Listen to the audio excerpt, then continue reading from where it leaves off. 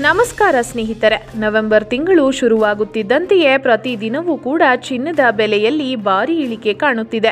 ಹೌದು ಸ್ನೇಹಿತರೆ ಪ್ರತಿದಿನವೂ ಕೂಡ ಚಿನ್ನದ ಬೆಲೆಯಲ್ಲಿ ಕುಸಿತ ಕಾಣುತ್ತಲೇ ಇದೆ.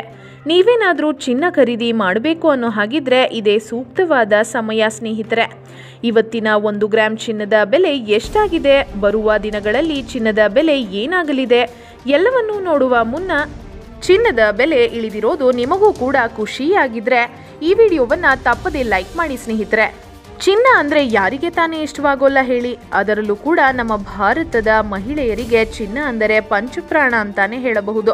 ಆದರೆ ಇತ್ತೀಚಿನ ದಿನಗಳಲ್ಲಿ ಕೊರೋನಾ ಬಂದ ಕಾರಣ ಮತ್ತು ಚಿನ್ನದ ಬೆಲೆ ಗಗನಕ್ಕೇರಿದರಿಂದ ಯಾರು ಕೂಡ ಚಿನ್ನ ಖರೀದಿ ಮಾಡಲು ಯೋಚನೆ ಮಾಡ್ತಿರಲಿಲ್ಲ. ಆದರೆ ಕಳೆದ ಹತ್ತು ದಿನಗಳಿಂದ ಚಿನ್ನದ ಬೆಲೆಯಲ್ಲಿ ಇಳಿಮುಖ ಆಗುತ್ತಿದ್ದಂತೆಯೇ ಚಿನ್ನದ ಅಂಗಡಿಗಳಲ್ಲಿ ಖರೀದಿ ಮಾಡುವ ಜನರು ಐದು ಪಟ್ಟು ಜಾಸ್ತಿಯಾಗಿದ್ದಾರೆ.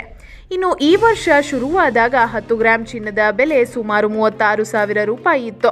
ಆದರೆ ಈ ಬೆಲೆ ಐವತ್ತಾರು ಸಾವಿರ ರೂಪಾಯಿ ಕೂಡ ಸೆಪ್ಟೆಂಬರ್ ತಿಂಗಳಿನಲ್ಲಿ ಗಡಿ ಕೂಡ ದಾಟಿತ್ತು.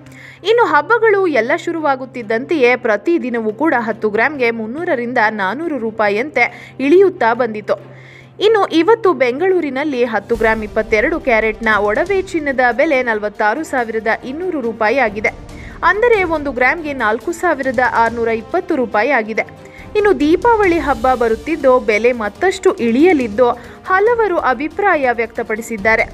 ಇನ್ನು ನೀವೇನಾದರೂ ಚಿನ್ನ ಖರೀದಿ ಮಾಡಬೇಕು ಅನ್ನೋ ಹಾಗಿದ್ರೆ ಇದೇ ಸೂಕ್ತವಾದ ಸಮಯ. ಈಗಿರುವ ಪರಿಸ್ಥಿತಿಯಲ್ಲಿ ಒಂದು ಗ್ರಾಂ ಚಿನ್ನದ ಬೆಲೆ ಎಷ್ಟಾದರೆ ನಿಮಗೆ ಖುಷಿಯಾಗುತ್ತೆ ಅಂತ ನಮಗೆ ಕಮೆಂಟ್ ಮಾಡಿ ತಿಳಿಸಿ. ಹಾಗೆ ಈ ವಿಡಿಯೋವನ್ನು ತಪ್ಪದೇ ಎಲ್ಲರಿಗೂ ಶೇರ್ ಮಾಡಿ. ಧನ್ಯವಾದಗಳು.